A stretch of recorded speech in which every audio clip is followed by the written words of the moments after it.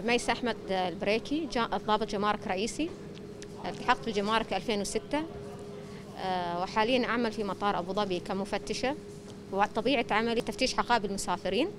في حين الاشتباه في أي مواد محظورة يتم تحويل حقيبة المسافر إلى الموجه ويتم اتخاذ الإجراءات اللازمة. واجبنا كمفتشين اتخاذ الإجراءات الاحترازية للحد من انتشار فيروس كورونا الإدارة العامة لجمارك أبو ظبي تهتم في تطوير الكادر البشري من خلال الدورات التدريبية أهمها لغة الجسد التعامل مع الجمهور والكاشف الأمني. من أجل من أجل حماية الوطن والحفاظ على أمنه واستقراره. شكرا لقيادتنا رشيدة وأم الإمارات لدعمها مستمر المرأة الإماراتية.